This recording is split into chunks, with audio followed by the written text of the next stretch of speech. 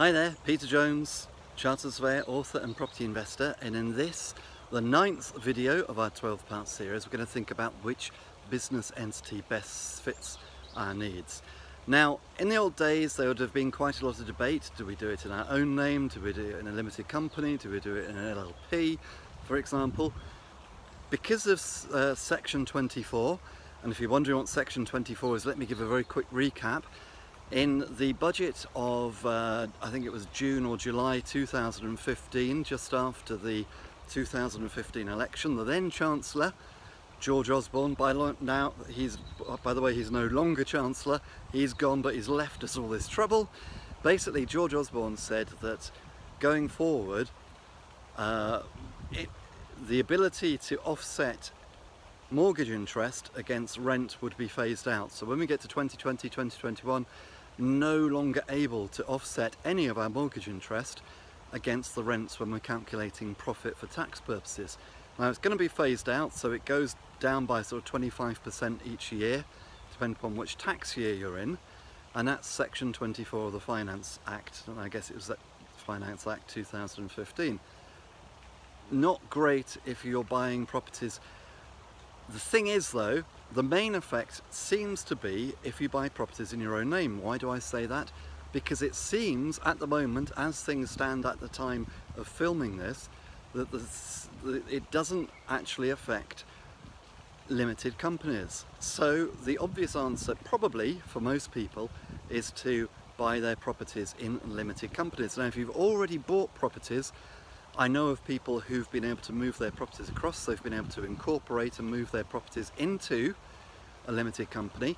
Now the thing you need to worry about there is you could, because it's a deemed transaction, even if the, the properties are in your name and you're moving it into your limited company, because the limited company is a separate entity, you could pay capital gains tax and you could pay stamp duty. But I know people who've taken advice from accountants who in turn have taken advice from HMRC on the best way of doing this and they've been able to incorporate by moving their properties across without paying any tax. I'm not an accountant, please don't email me asking how you do it, but do get in touch with a property accountant and they will be able to help you to do it.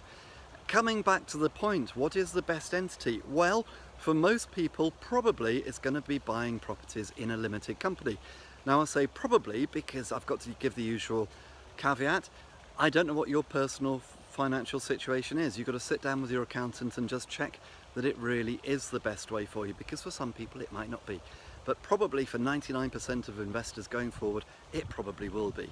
But just remember, Peter's not an IFA, Peter's not an accountant, so get somebody who knows what they're talking about to check that for you. Now, of course, that's a very simple way of looking at it. It may be, for example, that you want to create a legacy and leave all of your properties to your children. Maybe then you should be thinking about some kind of a trust. Or maybe you buy your properties in a limited company and the shares are held in a trust, maybe. So that could get quite complicated. Again, not anything I can really talk about, but of course there will be ways and means of doing that. Would we ever do it in an LLP?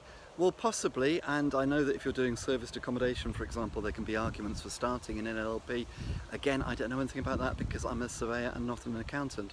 But for 99% of investors who are starting out, particularly those who are doing simple single let buy-to-lets, buying in a limited company going forward is going to be the best way. Check with your accountant. Now before you worry about it, it's relatively easy to raise finance for buy-to-lets in a limited company. That's all I've ever done. More by luck than judgment, I've always bought all my properties into a limited company. Never had any problems raising finance against them. Against them. Common questions are though, does the bank need to see three years trading by the company? No, because they know the company is just a shell vehicle to hold the properties. They will look at your stats though, they'll look at your earnings, they'll look at your wage slips, they'll look see how much money you've got as an individual. So they'll check you as an individual, but the money will get lent to your limited company. So it's all very straightforward. There are buy-to-let lenders out there who will lend knowing that you're going to buy through a limited company, so that's not a problem. There may be less than there are who would lend to an individual, but there's still plenty of buy-to-let products which are geared up for limited companies. So that would be the entity which most of us are going to be thinking about. So I hope that helps. Here's to successful property investing.